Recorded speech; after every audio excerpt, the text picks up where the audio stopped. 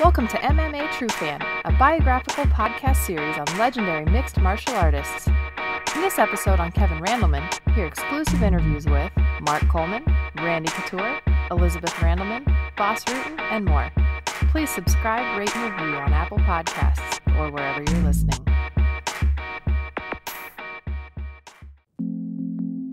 You got to remember one thing about Kevin every person he ever came across, he treated like he was his best friend. And, and that was Kevin. So you could have met him for 15 minutes and he made you feel like you were the most important person he'd ever met. That was the kind of person Kevin was. And I, I've never seen anything like it.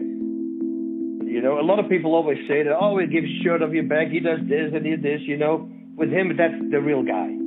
It's not for attention. It's not for anything. It's just solely because he wants to help that person. There's nothing that he wants to gain from it.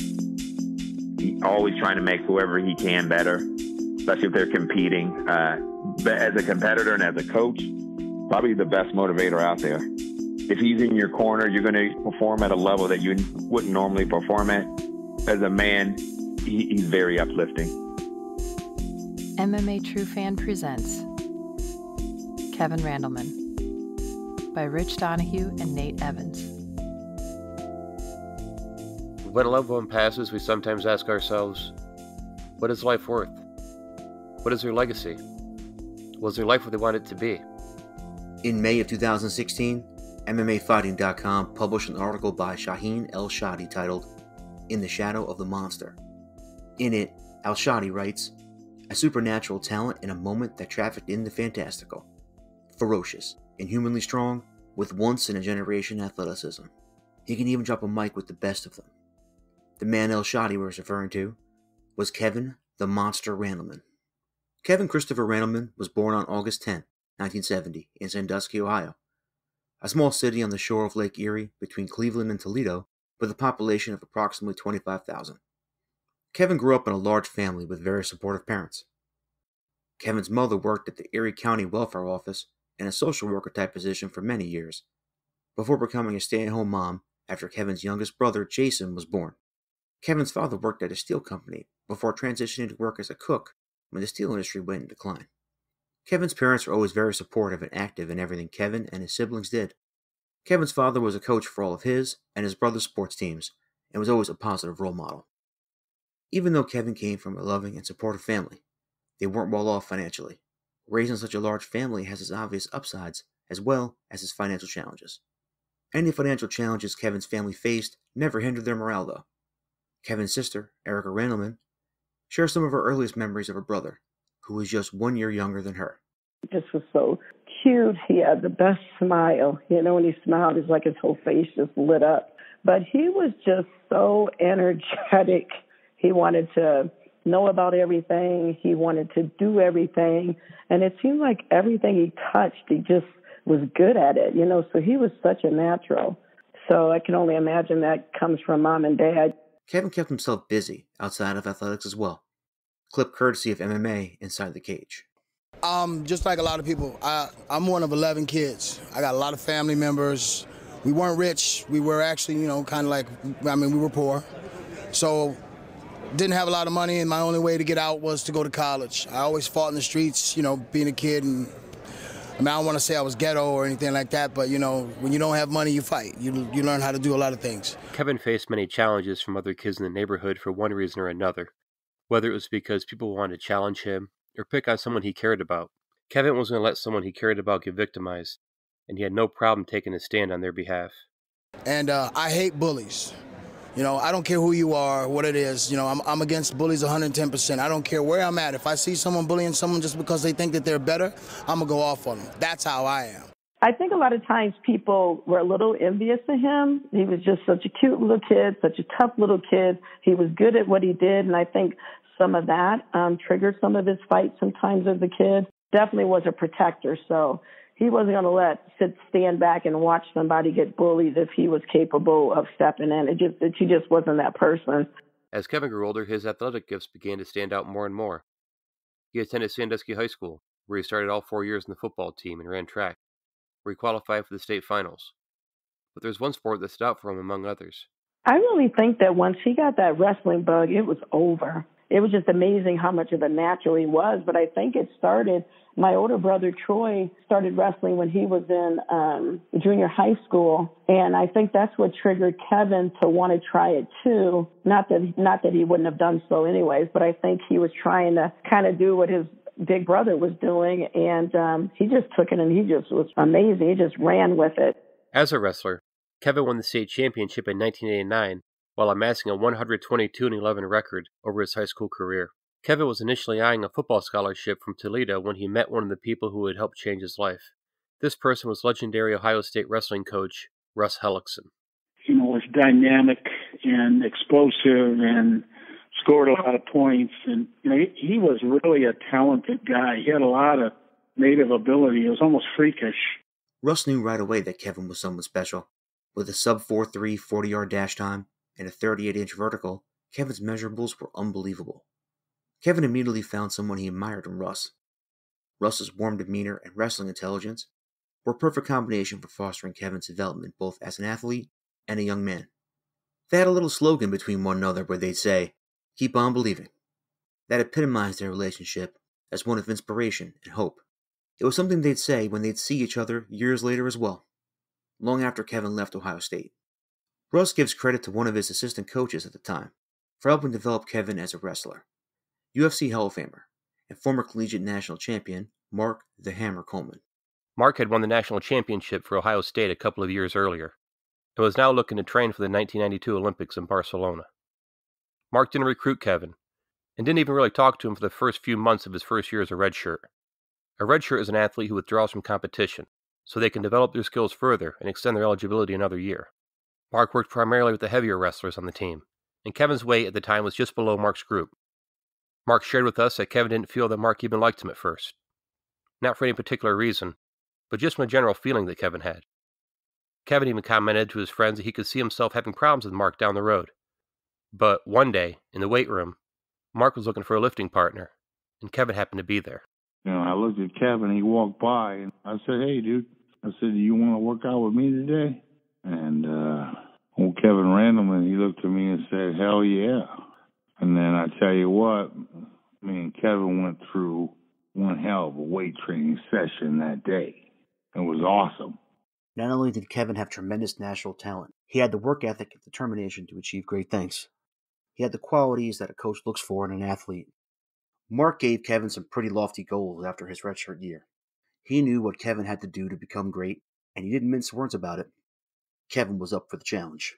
I said, when I see you in three months, I expect to see you 20 pounds bigger and squat 500 pounds. So I had hopes of that.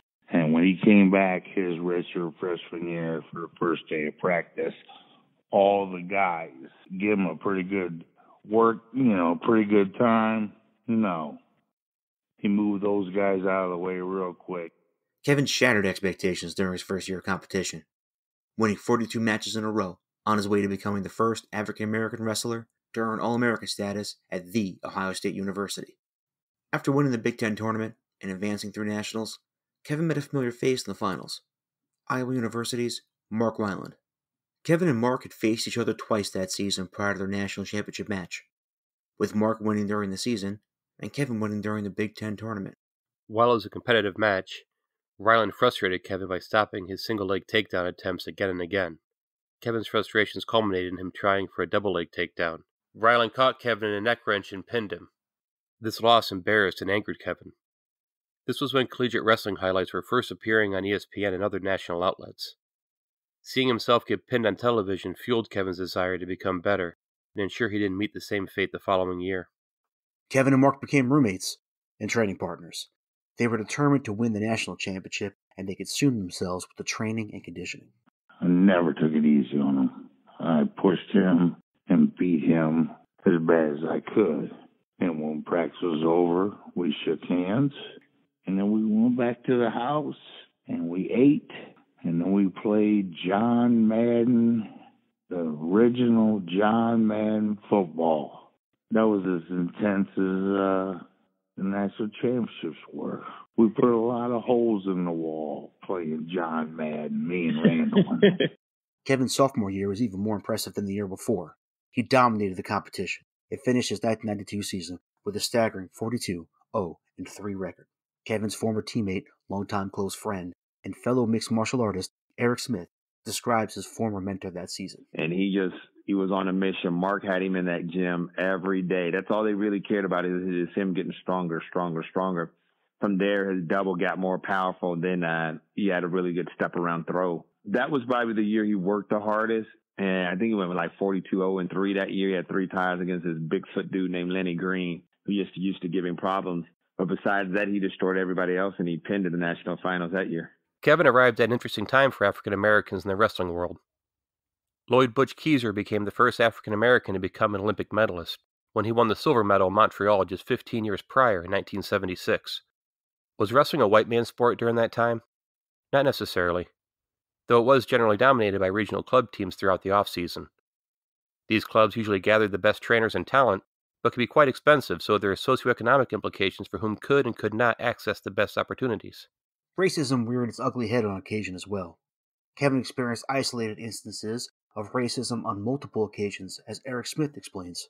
There was a cop that once put a gun in his mouth that was back in Sandusky, and that happened there. There was a time where we left a bar on down High Street. There used to be a whole bunch of bars right on High Street, and Kevin got maced for no reason. I think they were just spraying mace, and he whipped around, and I guess when he whipped around, he accidentally hit a cop, and they threw him in the paddy wagon for that.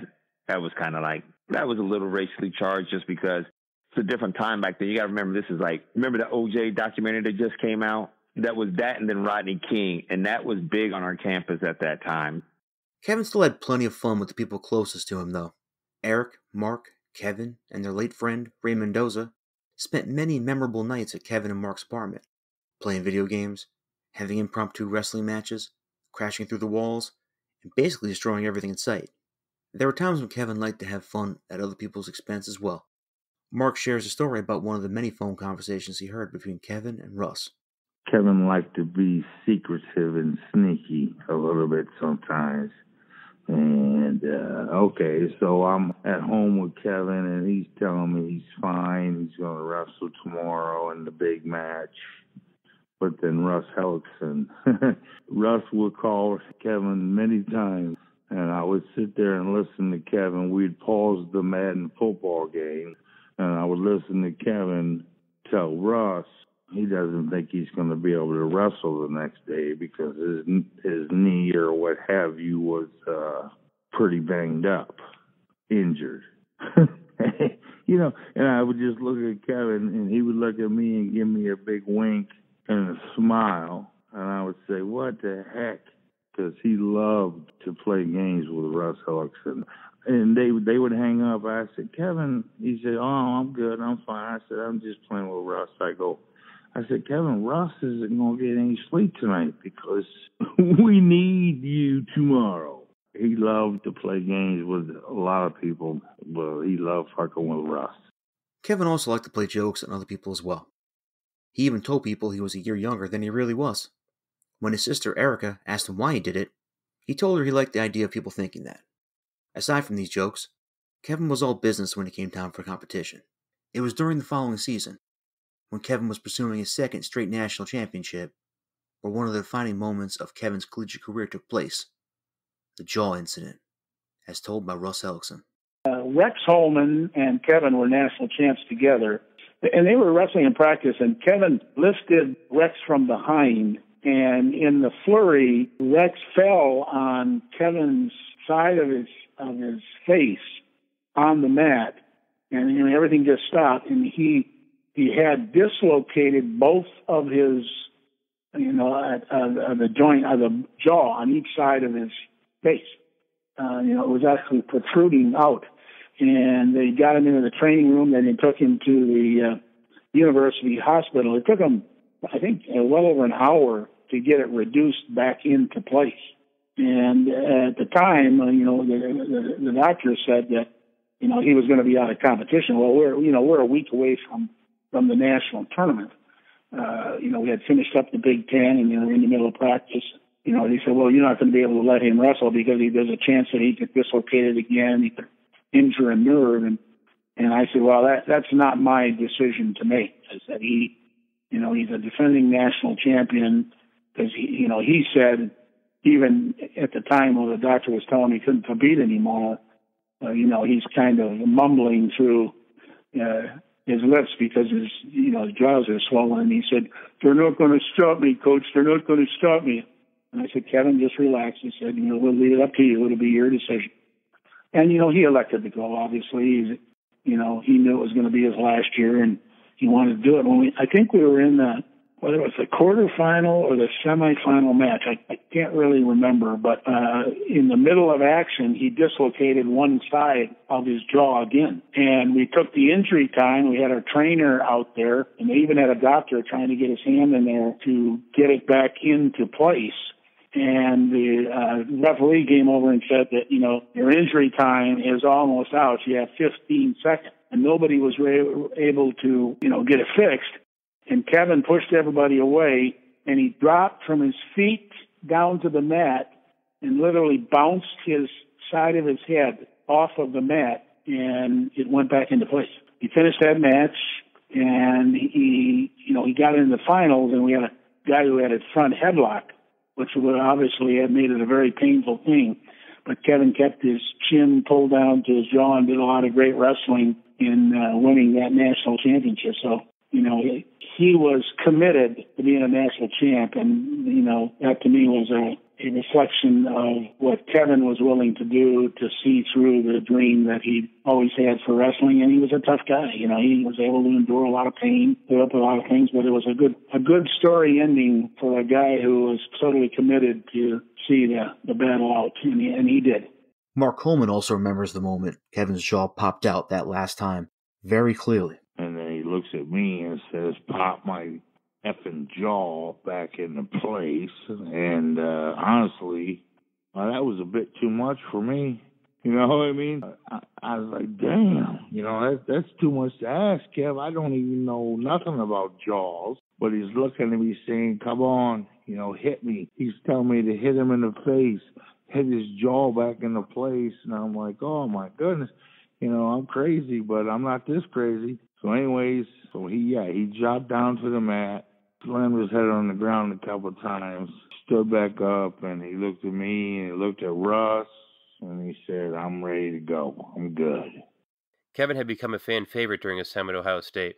By the time he got to the finals for a second national championship, his popularity had grown. The whole crowd, 20,000 fans at the NC2A finals, were watching him because everybody knew Kevin Randleman, and that's not normal in wrestling.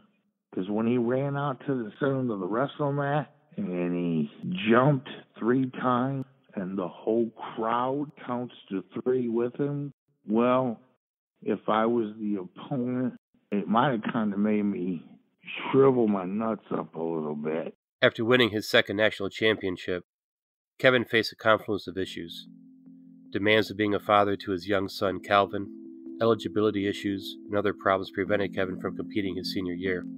Once Kevin's college career ended, he found himself back in Sandusky, managing a new gym and caring for his family. Kevin was busy and content, but then he received a phone call from an old friend that would change his life. You know, I'm not a big guy. And in college, I was 5'8", wrestling 170. So I wasn't a big guy fighting, and I was fighting guys that were big 260. So Mark Coleman saw how, re how relentless and how aggressive I was and how much I could fight. And he, when he became the UFC champ, everyone always asks you if you have anyone that you train with. So the first thing in his mind was like, yeah, Kevin Randleman. I was dead. And at the time, I had a son. And um, uh, I wanted to go home. I wanted to raise him. I wanted to be with him. I wanted to spend more time with him. So we were we had a gym, and I was managing the gym back in Ohio. And uh, Coleman called me and said, "Hey, you want to fight?" I said, "Nah, man. I'm like, I'm cool. I'm right here with my son. I'm watching WWE." And uh, he said, $30,000 if you win. I said, who do I got to kill? He said, you just got to win three matches in one night. And I said, what do I got to do? He said, there's a ticket for you at the Cleveland airport. Your fight's in 28 days. I flew to Arizona. I trained with Mark Coleman and Mark Kerr. Went to went to Brazil.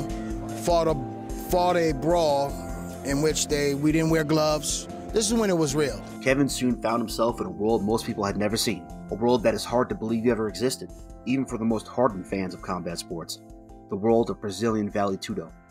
Eric Smith made the trip to Brazil multiple times with Kevin and describes the scene. You know, they're all cheering in Portuguese, and it's, you know, you don't know if they're being mean, but it's coming across real mean. It's just a crazy setting. It was just how close the fans were, how fast if you fell out the ring, they threw you back in the ring. And one thing about the Brazilians is they, they I mean, they come to fight. This was true no holds barred fighting, or moves that aren't allowed in any major organization today, like eye gouges, groin strikes, fish hooks, and small joint manipulation, were all in play. Kevin's graphic depictions of these events paint a world of extreme violence and brutality. Clip courtesy of MMA Roasted. Uh, when I was in Brazil, one of the guys, oh, he tried to bend my finger back. I broke, I break both of my thumbs because every time I feel a punch or whatever, I broke both my thumbs, and the guy pulled my finger. So I took my finger and put it in his cut and tried to rip it open. This is shocking behavior. How can a man known for being generous to strangers and endearing to children be the same man who is digging his fingers into wounds to rip them open? The answer is simple. This was prize fighting. With enough money at stake to change the quality of life for his family, it was an opportunity of a lifetime. Kevin's mixed martial arts career began in an organization called Universal Vale Tudo Fighting, which we will refer to here as UVTF. These were tournament style events similar to early UFC shows. Randleman dominated his debut at UVTF 3, winning three times in one night. In the finals, he beat Dan Bobish via submission due to punches. While the world of Brazilian Vale Tudo may have seemed barbaric and gruesome to some, it provided Kevin and Mark with the opportunity to earn a significant amount of money for their families. It also helped fill a competitive void left in them. To Mark, it seemed too good to be true. You just win three fights in one night, and the cops aren't coming. Fans are screaming, and you're going to get a paycheck. This was perfect. At UVTF 6, he defeated Ebenezer Fontes Braga and Mario Neto before suffering his first loss at the final to Carlos Barreto. Randleman believed there were some shady circumstances prior to this fight, as he fought two other Brazilians who dragged the matches out by escaping the ring and hitting him from the outside. But Mark and Kevin found Barreto to be a gentleman and a true professional afterward. He went out there against Barreto, and uh, holy shit. You talk about a big old monster. And Randleman had so many injuries he couldn't even see. I hate to admit it, but so what? You can't win them all, motherfucker. We can't win them all. Carlos Barreto, classy guy, class act. Yes, you got my guy. You know, you got him, but before he even got to you, he was half, you know, sliced up. He went on to fight in the Brazil Open 97, losing the finals to Tom Erikson. Overall, Kevin fought eight times in 1997, compiling a 6 and 2 record in three separate tournament style events. Kevin made his debut in the Ultimate Fighting Championship in March of 1999 with the unanimous decision win over legendary kickboxer and MMA star Maurice Smith. Smith had defeated Coleman in the UFC less than two years prior and also held a win over the legendary Tank Abbott.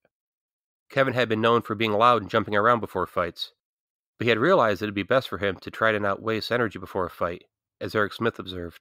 That was one of the times I've seen him the most calm ever, and he just destroyed Maurice Smith. He was just calm in there, nothing crazy, no screaming. By most accounts, it was his win over Smith that first put him on the map globally. Kevin's next fight was for the UFC Heavyweight Championship against a man who had gone unbeaten in his last 20 fights while dominating the Japanese fighting world. Three time King of Pancrase, Bas Rutten. This was during a time when most fights were a clash of two different styles, and this was a classic showdown between a top grappler versus a top striker. Bas and Kevin had an awkwardly close encounter, alone on an elevator the night before the fight. Bas explains the deal Kevin proposed that actually turned out to be a ploy. He said, Well, if you keep your feet on the ground, I, I promise you I won't take you down. And I go, What is it? Does he mean like with uh, no kicking? And I go, Oh, yeah, thank you. So then in the fight, and that was a smart thing from him, he slapped his thigh. That was the first thing he did, like, kick me here. So now I thought, what the heck? You just said if I don't kick, you know? So that's when I came up with that thing. Oh, I make it into a roundhouse kick. Uh, I, I act like I give him a low kick, but I, I turn it into a front kick. So if he shoots, I'm going to kick him right in the face. I got him take him down. But then he told me later that was a complete setup because as soon as I did that, he moved backwards And then my whole game plan went out the window there because I go, whoa, whoa, wait a minute. He's moving back on kicks. Oh, so I can kick. And then right away I kick, and of course immediately he took me down. So yes, as, as that was his strategy. So I would say his strategy to to get me out of that, uh, to to make me kick a certain way, that was very smart done. Kevin and Bas spent most of their fight on the ground in what was mostly back and forth action, with Kevin on top of Bas pounding him with hammer strikes and punches, while Bas landed elbows to the top of Kevin's head. Kevin broke Bas's nose early on and cut him below his right eye shortly thereafter. Bas was bleeding throughout most of the fight, and Mark wasn't subtle about what he thought Kevin should do with that blood, as Kevin explains. Put it in his eyes, Randleman. Blind him with the blood. Smear it in his face. Stick your finger in the cut. Pull it. Kevin lost a controversial split decision against Bas that is still debated today. Following the Rutten fight, Kevin went on to become the UFC heavyweight champion by defeating Pete Williams. This was after Rutten vacated the belt and opted for retirement. Williams had recently knocked out Mark Coleman with the legendary highlight reel head kick the previous year, so this victory was significant redemption for Mark and Kevin's team Hammerhouse. Kevin's first title defense was against one of the most feared strikers on the planet, Brazilian sensation Pedro Rizzo. Randleman defeated Rizzo in what was one of the most significant wins of his career. Kevin's second title defense was against UFC Hall of Famer Randy the Natural Couture at UFC 28. Randy was a decorated wrestler at Oklahoma State University, while Kevin was at Ohio State. The two men were well aware of each other's wrestling pedigrees. Randy knew he had a fight on his hands. Obviously, had great takedowns, explosive double leg. Tough to get out from underneath him once he took you down. And that's how he won a lot of his fights was his ability to take guys down and, and smother them, stay on top of them, and, and pound away on them. So I knew that would be the challenge when I faced him was who's going to get those takedowns and who's going to be able to survive those situations. Randy knew he had to be ready for the possibility of being taken down and prepare for that scenario accordingly. I had spent a ton of time working on on the possibility that, that Kevin would take me down and and then what? Uh, so I spent a lot of time on my back working on the jiu-jitsu and, and a guard and, and being able to be effective not only to protect myself from there but to possibly be offensive and uh, from from that bottom position which is a, not a place most wrestlers like to be Kevin took Randy down the first two rounds, but Randy was able to mitigate the damage and survive. In the third, Randy was able to take Kevin down, and from there went on to win via TKO near the end of the round. Following the loss to Couture, Kevin moved down to light heavyweight to face another future Hall of Famer in Chuck Liddell at UFC 31. Kevin lost to Chuck by knockout in the first round. Kevin thought the fight was stopped too early, but looking back, John McCarthy made the right call. Kevin's next fight was against a dangerous opponent in Renato Babalu Sobral. An unexpected series of events played into this match, as his former Hammerhouse teammate and friend Wes Sims explains. Kevin was so sick that he weighed, I think he was down to 188, and they had to put IVs in him, and he said, I'm going to fight. Mark Coleman had interesting insight on this fight as well. Randleman actually gave Sobral the triangle choke. He gave it to him like six times during this fight. He let him lock it up because he knew he was strong enough to not get choked out, and he was buying time, killing the clock. Nobody understands how amazing this is. He should have got choked out, but somehow he didn't because he's Kevin fucking Randleman. Even though he was sick as a dog, so sick that he lost control of his bowels and had an accident in his shorts during the fight, Kevin found a way to beat a world class fighter in Sobral. This is a story his friends still joke about, and something Kevin wasn't overly embarrassed about. It was a situation where Kevin wasn't well enough to fight, but found a way to get out there and compete. Unfortunately, it wouldn't be the last time Kevin would force himself out there when he wasn't healthy. Following a 20 second knockout win over Brian Foster at RFC 1, Kevin began competing in the organization where some of his most legendary moments took place the Pride Fighting Championships in Japan. Mark Coleman was a well established fighter in Pride, having been the winner of the 2000 Open Weight Grand Prix. Kevin had made the trip to Japan with him several times. Kevin won his first fight in Pride in September 2002 with a win over Michiyoshi Ohara with a unanimous decision. Less than two months later, he defeated Kenichi Yamamoto with a third round TKO after delivering crushing knees while on top in the north south position. Kevin's next fight came less than a month later against another fighter who was making a name for himself in the organization. Murilo Ninja Rua of Brazil. Ninja had put together impressive wins over Daiju Matsui, as well as former Abu Dhabi champion and jiu-jitsu master Mario Sperry. Both Kevin and Ninja were on the rise and close to being in title contention. This fight had a lot riding on it. You knew right away that this fight was going to have all the makings of a classic. Both were explosive, high energy fighters who were known for being aggressive in the ring. After two rounds of grueling back and forth action, Kevin landed a crushing left hook to start the third round to Ninja's already swollen right eye. Ninja immediately showed the effects and struggled as he continued until the referee stopped the action to have his eye checked, which resulted in the fight ending and Kevin winning by doctor stoppage. Kevin ended 2002 with great enthusiasm. He shrugged off the losses to Couture and Liddell and won five fights in a row that year. Kevin's personality was a big hit with the Japanese fans as well. His larger than life aura, combined with his athleticism and physique, made him a perfect fit for another passion of his that was also popular in Japan professional wrestling. Kevin and Mark were tag team partners for a while. Mark shares his memories. It was just an easy fit. I was already doing pro wrestling. And then the next thing you know, Pride started their own organization, Hustle Hustle. And then, uh, yeah, there it was. It just fell into place. And me and Kevin are going to be the American tag team. We got wrestling singlets on, wrestling shoes on, and we're going to whoop your ass. We got in there and I would stand in the middle of the ring, and he would get behind me. I would stand real firm and bend my knees a little bit, but this guy would run and jump and just touch my shoulders and do the splits and jump over top me and land right in front of me and then kneel down and then we would hit our pose. What the fuck? It was, you know, he was, he was just a super freak, spectacular. You know, he just really was. Kevin's mentality and give it your all attitude was just what the professional wrestling promoters were looking for. Mark shares with us the time when he first took Kevin to meet them. And I remember him being on the top rope and he was doing a flying elbow off the top rope. You know, not an easy move. Well, they had him halfway across the ring when he started, and he kept bringing the guy back about a foot, a foot, a foot, and he kept asking Kevin if he could jump this far. He said, yeah. Next thing you know, the guy's pretty much on the other side of the ring. And Kevin Randleman is flying through the air in practice, you know, landing a perfect elbow drop to a guy's chest. Anyways, so we go back to the hotel room that night. And we're laying there, Kevin's like, "Oh man," he goes, "I don't feel so good." I go, "What are you talking about? What's up, buddy?" He said, Oh man, my whole leg hurts, my whole hip. It's just real sore right here. I don't know why. I go, What do you mean you don't know why, Kevin? I said, You jumped off the top rope 10 times for nothing.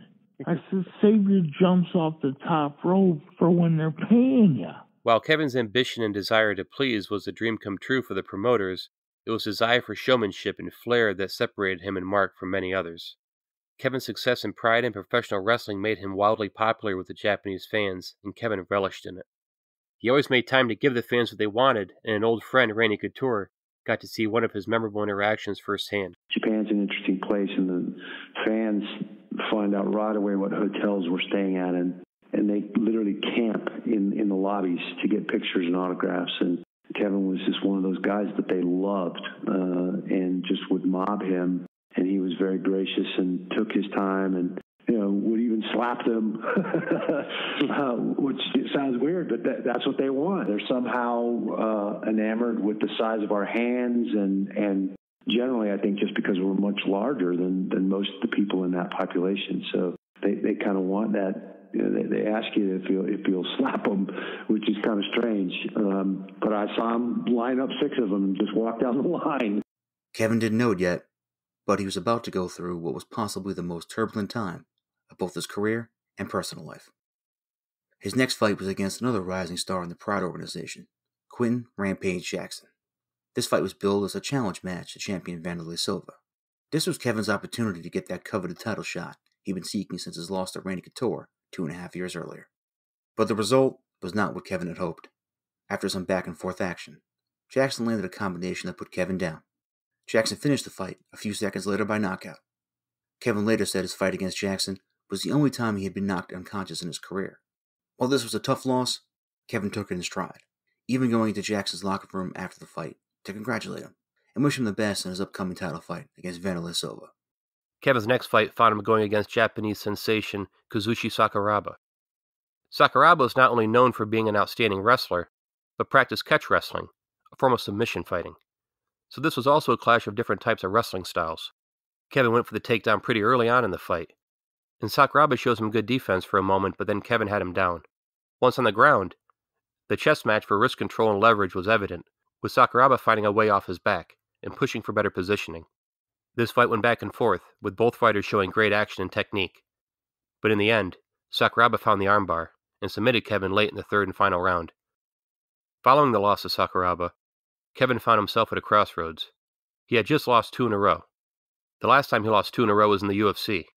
He seemed to have run out of top guys to fight there, so he went to Pride, and now he found himself in mostly the same position. Shortly after his fight with Sakuraba, Kevin met another person who would change his life his future wife and love of his life, Elizabeth. Kevin and Elizabeth met through a mutual friend, former UFC heavyweight champion Ricco Rodriguez. Here, Ricco describes his longtime friend. All eyes were on her whether you wanted to or not. She just attracted that type of attention. She was, you know, still was dropped to gorgeous, very outgoing, very captivating when she she takes the center of the room, and you know she's always dressed in you know this unbelievable upper demand suits, you know, just really high end corporate America. Like Kevin, Elizabeth was known for her earnestness, candidness, and generosity, while being able to play hardball when necessary. By all accounts, Kevin went crazy over Elizabeth the moment he saw her. He even told Ricco Rodriguez he was going to marry Elizabeth a few minutes after meeting her. As for Elizabeth, well, she wasn't blown over so quickly. She wasn't starstruck by Kevin. Not because she didn't know who he was. She knew exactly who he was. But she wasn't the type to fall into things.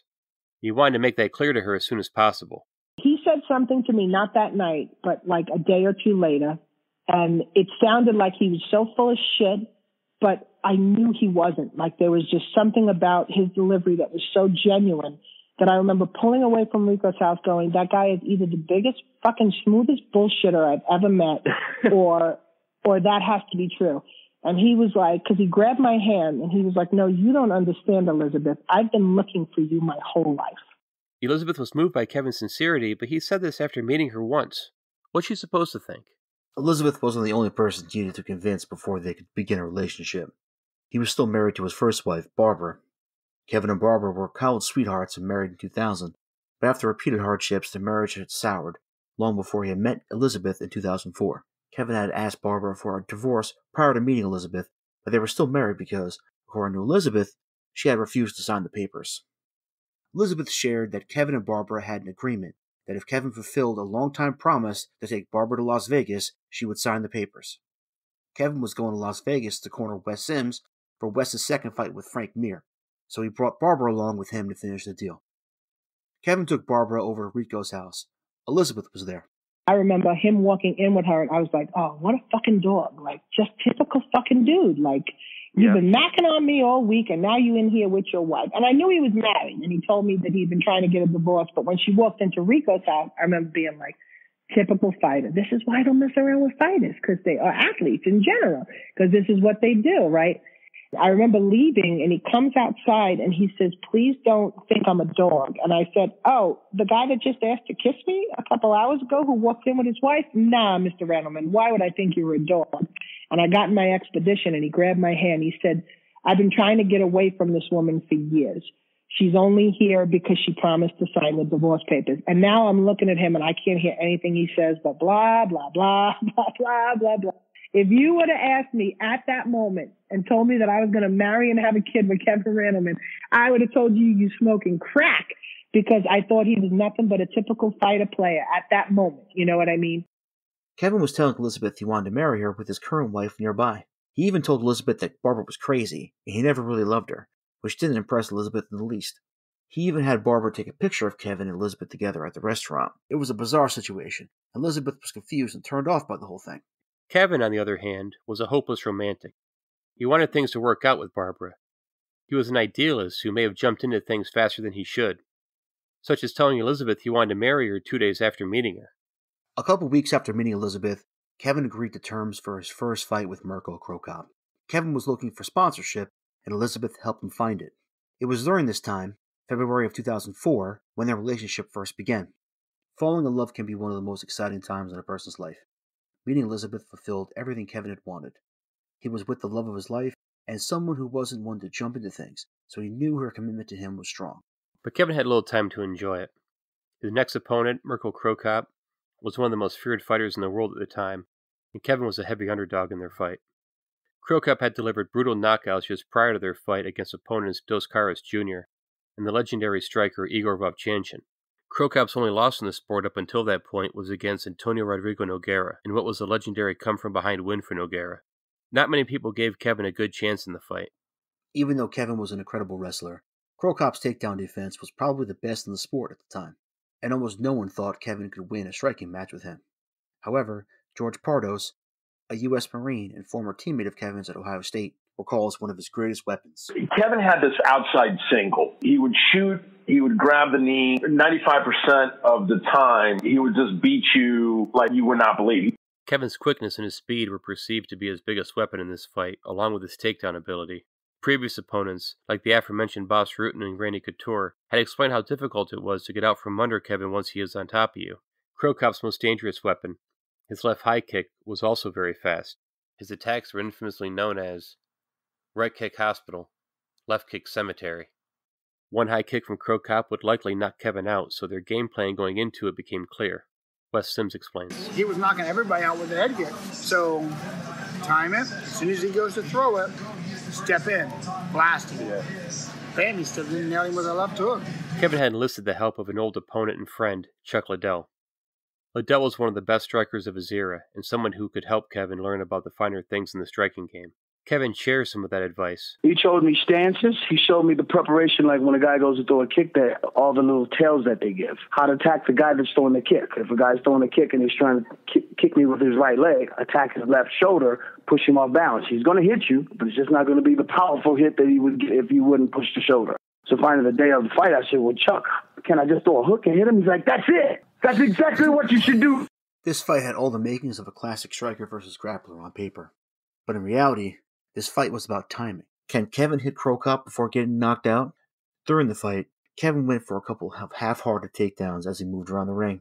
There was a feeling that Kevin was going less than full speed, with the intention of going full speed and catching him off guard. Kind of like how a pitcher picks off a runner by doing a few half-speed pickup moves and then getting the runner out at full speed. But this wasn't Kevin's game plan. About 90 seconds into the fight, Cro Cop stepped in to engage. Then, the unthinkable happened. Kevin landed a crushing left hook to Cro Cop's jaw, dropping him to the mat. Kevin quickly got on top of him. A few seconds later, Kevin landed heavy hammer strikes to Cro Cop's face, knocking him out cold. Kevin didn't even know what to do immediately afterward. And when the fight was over, I was just standing there walking around the ring like, damn, I can't fucking believe. Wow, that was fucking easy. You know, I, that's exactly what I was saying to myself. And Chuck jumped in the ring and was like, what the fuck are you doing? I'm like, I, I don't know. I, it kind of shocked me. I said, I don't know. What's the matter? Why ain't you going crazy? I said, I, I don't know. What the fucking go crazy? yeah, yeah. Jumped up on the ring ropes and Mark Coleman and, and Chuck and them were in the ring going crazy. The reactions on people's faces immediately following the fight, particularly Liddell when he first hugged Kevin, showed the shock and awe of the situation. Kevin had stunned the world. He had defeated one of the most feared strikers in the history of the sport at the top of his game. Not with the wrestling he was known for, but with a standing punch. Some argued it was a fluke, but in reality, this knockout was planned, calculated, and executed to perfection. Kevin was at one of the highest points in his career and personal life. He and Elizabeth were in love. His success and pride had helped giving him celebrity status in Japan. Fans all over the world were talking about a shocking win over Cro Cop. He was riding a wave of popularity that even he never experienced. Kevin's next fight would be against Pride heavyweight champion Fedor Emelianenko. Emelianenko was widely regarded as the best fighter in the world at the time and is still considered to be one of the best fighters in the history of the sport. But just as Kevin was riding this high, tragedy struck. Kevin's father passed away two weeks before his fight against Fedor. Many were skeptical if Kevin was even going to be able to compete after such a traumatic event in his life. His sister Erica recalls how Kevin felt upon hearing the news. He was extremely sad. You know, when people pass away, you wish you spent more time. Like maybe you could have had more time back So it was tough for him when we were at the funeral and stuff. I remember all that. Um, and trying to be supportive to mom under the circumstances and stuff like that. Um, getting past that, and then you have to kind of shut it down and, and move forward and, and start focusing back on training for this fight. So I'm not even sure if he was able to fully grieve the way he probably needed to under that circumstance, you know. Tragic losses like these can cause a person to question everything they've done in life. That type of guilt can haunt a person and weigh heavily on their psyche. Kevin was a professional, though, and fighting a man like Fedor was an opportunity of a lifetime, regardless of the circumstances, regardless of the sacrifice. The tone during introductions for this fight was eerily somber. Kevin stood across from Fedor with his hands together below his waist. Fedor, who was known for being calm before fights, was even more subdued than usual. The weight of Kevin's loss seemed to hang over the whole arena before what was about to be one of the most memorable fights in the sport's history. Kevin engaged with Fedor right away and took him down. Fedor used his grappling background as a former Sambo world champion to escape and get back to his feet, with Kevin behind him. Kevin then lifted Fedor in the air, jumped, and slammed Fedor directly into the mat on the back of his head, and one of the most unbelievable suplex body slams you will ever see. Elizabeth was sitting at ringside. Fedor's people were sitting right behind us, you know, because they always sat us all together. All the friends and family were always together. And if you'd ever experienced a fight over in Japan, unlike anything here, you could hear a pin drop during a match. There's no noise. There's cheering when something big happens. But the respect that Japanese fans have for that fight, for, for that sport, is phenomenal. I remember watching that slam. We thought Fedor was dead. People at ringside thought Fedor was dead. People at home thought Fedor was dead. But Fedor wasn't dead. In fact, he reversed Kevin and submitted him with a Kimura lock less than a minute later. Even in a loss, Kevin had shocked the world with what was one of the most incredible body slams in the sport's history. Whenever Fedor is discussed as being among the best fighters ever, one of the first things that gets mentioned is the way he was able to survive what became known as the Randleplex. Losing to Fedor after such an amazing performance had to have been a hard pill to swallow, but Kevin didn't let it get him down. He and Fedor spoke backstage afterward and shared their admiration for one another, a practice both men had done in the past with their opponents. Fedor later invited Kevin to train with him in Russia, a request that Kevin respectfully declined. Kevin had a strong loyalty to his mentor and one of his closest friends, Mark Coleman. Mark had groomed Kevin into a national champion wrestler in college and had been his primary trainer throughout most of his mixed martial art career. Mark and Kevin were like brothers and loved each other dearly. They also had their disagreements, which often played out in dramatic fashion. Wes Sims shared a story with us over lunch. It was a sushi place, I think. But we're sitting there and Mark goes, What do you know about cutting weight? Oh my God. Kevin gets up. You motherfucker. Fuck you. He walks out and leaves. That happened several times. Things like this didn't fester for long, though. Neither of them were the types to hold grudges toward one another. Ricco Rodriguez shared a quality Elizabeth had that made her such an important person in Kevin's life when it came to him getting upset. What was amazing about their relationship was she knew how to calm him down and bring him back. You know, Kevin reminded me a lot of the Hulk. You know, if you got him to the green, you're not stopping him. You're, you got to get out of the room. He would. He, there's no talking to him. And Elizabeth was the woman that would calm him down to bring him back to Kevin.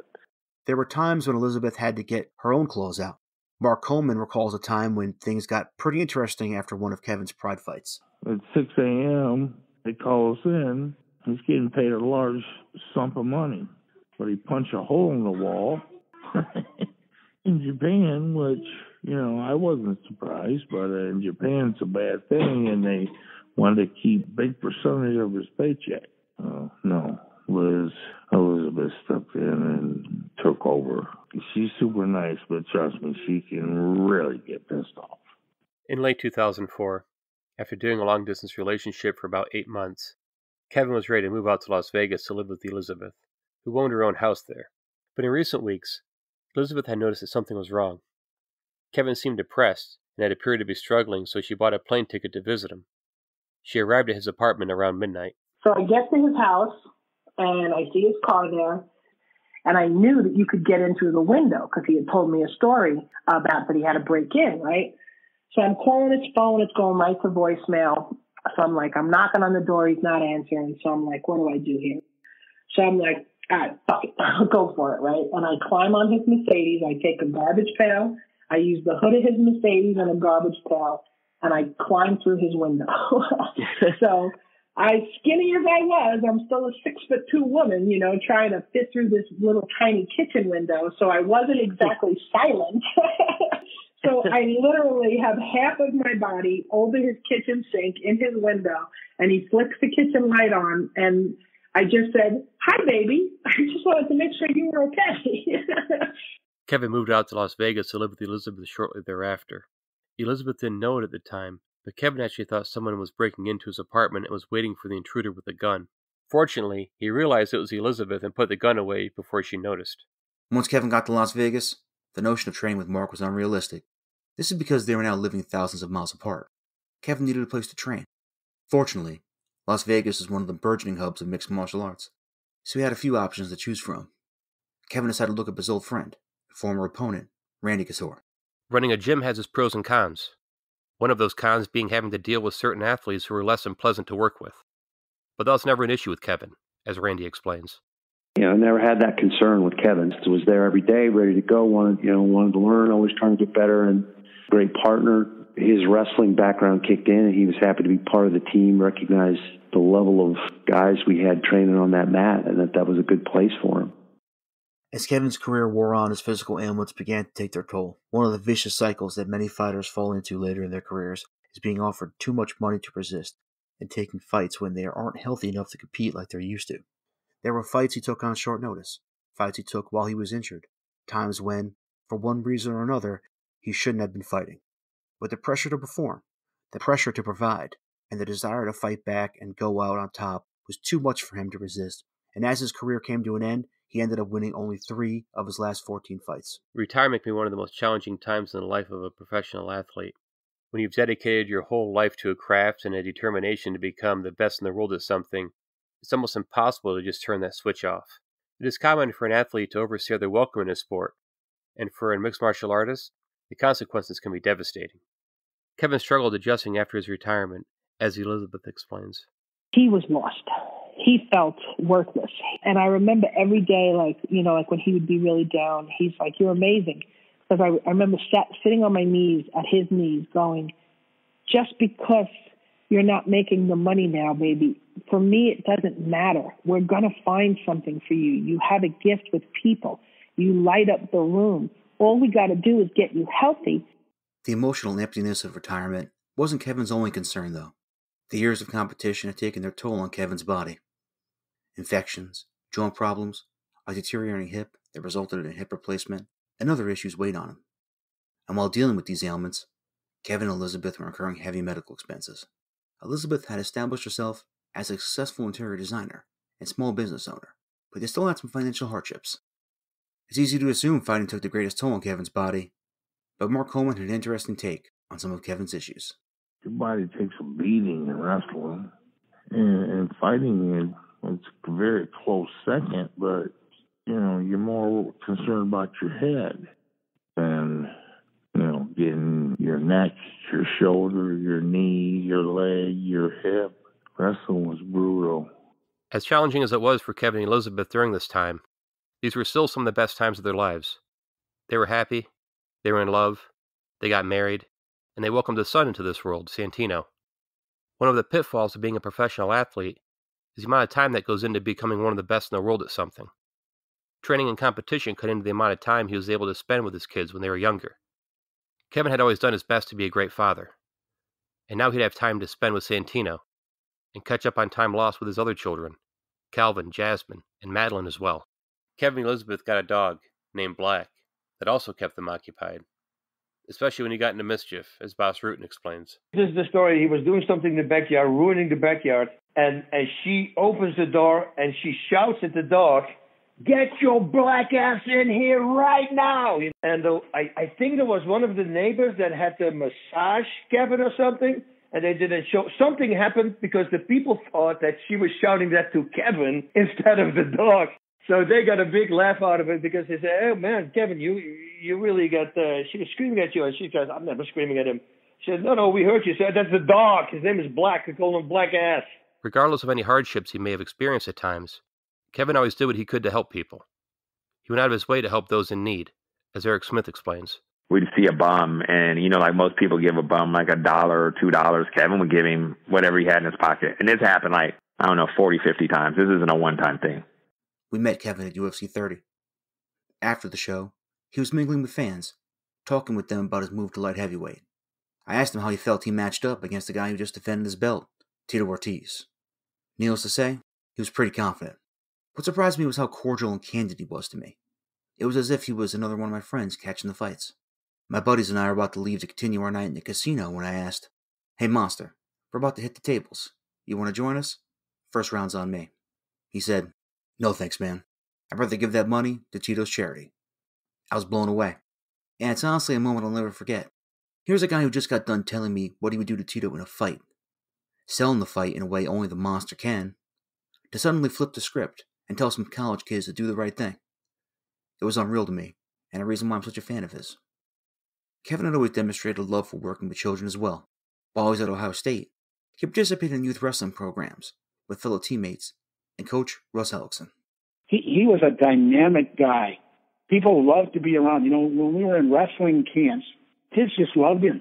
He was so effervescent and so bubbly and so enthusiastic about wrestling and life that it was a contagious thing. Kevin created the Monster Wrestling Academy in conjunction with Coronado High School in Nevada, alongside coach Scott Kimball. This was Kevin's way of sharing the sport that changed his life with others. He was the kind of guy who went out of his way to inspire people, and this was another example of it. Ricco Rodriguez experienced Kevin's inspiration numerous times, but there was one memory that stood out among many. I remember one time I was so scared to fight and and and and I was nervous behind stage and Kevin just grabbed my face and gave me the big kiss and says, "Listen to me. You're a world champion. No matter what happens out there, you've already done everything." And I and I never forget the calmness before entering that bout. How relaxed I was just from his like lifting me up with those words and that compassion and he didn't have to do that. Kevin's earnestness and candid personality also made him a perfect mentor for young people. In January of 2016, he was hired by a sports agency in San Diego looking for someone to mentor their young athletes. He was just hired by a sports agency that had just signed five NFL rookies, all of them multimillionaires with, with that first contract. And how Kevin got th- thought up is we knew someone that worked at the agency. And ironically enough, the owner of the agency had met Kevin at one of those seminars we did in San Diego for the military years before. So the concept was the, the owner was like, we need, we need an athlete that can come in that these kids will respect. And Carrie Mendoza was like, what about Kevin Randleman? I just happened to talk to my good friend Kevin Randleman the other day and he's finally healthy. He, he got his new hip. He's 100% cleared from the doctor to get physical again. He's looking for work. And the owner was like, the monster? The MMA guy? Kevin got on the phone with the owner and they were like, all right, we're having this big Super Bowl party. All of our new athletes are going to be there. Come on down. Elizabeth and Santino had come down with the virus just before Kevin left. Elizabeth called Kevin a day or two later, but he wasn't picking up. And Kevin always picked up when Elizabeth called. He may not have always picked up when other people called, like Mark and Wes shared, but he always picked up when Elizabeth called. When Elizabeth finally got a hold of him, she knew he was terribly sick. She told him to go to the hospital for treatment. She then spoke to a doctor later that morning at the hospital, who told her that Kevin was in rough shape, but his condition had stabilized. Kevin's condition worsened over the next couple of hours, leading to him being intubated as part of his treatment. Elizabeth and her son went to an ear, nose, throat specialist she knew for their own treatment. She was sitting in the waiting room with Santino, waiting to see Dr. Sue when her phone rang. Sitting in Dr. Sue's office, Santino's right sitting right next to me, and I see the San Diego cell phone number come up. And I answer the phone because I didn't realize he was intubated at this time. All the doctor told me was that they had him stable and that he was going to be okay at 10. So fast forward two hours and I see the San Diego phone number come up and I answer the phone, Hey baby, how you feeling? And there's a guy on the other line stuttering and he's like, Mrs. Randleman? And I'm like, yeah, now you got to remember I'm in a crowded, tiny little waiting room in an ear, nose and throat doctor with my four and a half year old son sitting right next to me. And he goes, this is Dr. Wu. And I said, oh, doc, how's, how's my, how's my man doing? And he stutters a little and he's like, Mrs. Randleman, I'm so sorry. And I said, what do you mean? And he's like, he didn't make it. And I'm like, he didn't make what? Like it was like such a denial because he had the flu. Like, like how did he die? Like, like that wasn't an option for me in my mind. And I was like, I was like, and I obviously had to ask questions and I went up to the window and I knocked on the window and the nurse opened up and I said, I said, I need you to go tell Dr. Sue to go call my sister. She's like, what? I said, I have to walk outside. I said, my husband is in San Diego and he just died. Can you please watch my son? I have to go outside and take this call. And she's like, are you saying Kevin just died? I'm like, please go tell Dr. Sue to call my family. Kevin just died, but I need you to watch my son. And I remember going outside and my whole body was trembling. And I said, Doc, what do you mean he died? You just told me two hours ago that he was going to be okay. She's like, he's like, Mrs. Randleman, I, I don't know what went wrong. We, we, we tried to resuscitate him for, for like 30 minutes. She's, he's, he's like, I, I'm, I'm so sorry. I, nothing makes sense. Nothing made sense. Kevin Christopher Randleman died after suffering heart failure caused by complications from pneumonia on February 11, 2016, at the age of 45. News of Kevin's death sent shockwaves through the wrestling and mixed martial arts worlds. How could one of the greatest athletes in college and wrestling and mixed martial arts die at the age of 45 from pneumonia? How could this man who had so many times left us in awe be gone and die of something that, on the surface, seemed quite treatable? When I first heard of his death, the first thing I thought of was the way he looked at me when we met in Atlantic City almost exactly 15 years earlier. How this man, who was one of my heroes, looked to me like I was his hero, even though we didn't even know each other. How he, in a matter of 10 to 15 minutes, helped pull me into a sport that I've never wanted to get away from. Randy Couture wrote a poem in the wake of Kevin's death titled The One and Only Monster. He shared it with us. It goes as follows You are the one monster no one ever ran away from. It was you we couldn't wait to see. Even children searched closets and under beds in hope of catching a glimpse, a smile, maybe even a monster hug. You are the one monster, the unhuntable wild thing, that roamed this world and climbed its highest peaks. You did it all with a gleam in your eye, that showed us all the way to travel through the darkness. You are the one monster we hold goodbyes on our tongues for, and the world believes you've departed. But we stare into the dark forest of our hearts, and it's there we find your light. We will carry it there forever. The light of the one and only monster. The news hit everyone hard. Mark Coleman describes his feelings immediately after getting the news. Just mainly emptiness. My best friend. One of the questions we asked at the beginning was What is a person's legacy? Bas Rutten was very clear on what he thinks part of Kevin's legacy should be. Well, I hope they're going to talk about that he's inducted into the UFC Hall of Fame because I really want him to be in there also, and everybody wants to. So hopefully the UFC is going to wake up and, and, and realize what an incredible specimen this guy was. And and then just the stories for him, he will keep these stories to himself. But now he's away. I think we should tell these stories, like the kid that he just saved. And uh, and I want people to know what a really great guy he is, so that everybody knows, you know, that he's not the animal that you see in the in the fight but he's just a, a very compassionate guy. A couple of years ago, Zuffa promised Elizabeth that Kevin was going to get into the UFC Hall of Fame. Zuffa has since sold the UFC, but the issue still remains.